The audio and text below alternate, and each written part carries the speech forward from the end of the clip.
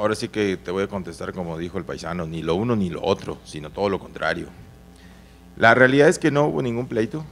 Ustedes recuerdan la escena que, que es normal de Matías y de cualquier otro jugador, partido de liga contra Puebla, que lo saco faltando 15, 20 minutos y se molesta y, tiene una, un- una reacción eh, no apropiada.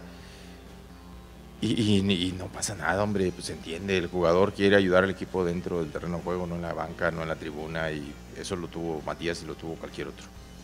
Se habló con él, ofreció disculpas, se solventó la situación, no pasó absolutamente nada, no quedó ni en tema personal como lo quisieron manejar.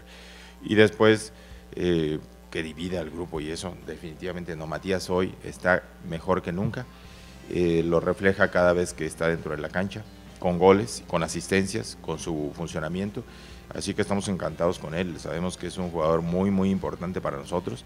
No hizo pretemporada, eso sí debo decirlo. No hizo pretemporada. Justo su primer partido de preparación, aquí lo recuerdan, Estadio Jalisco, una lesión en el tobillo que le impidió estar a su 100%.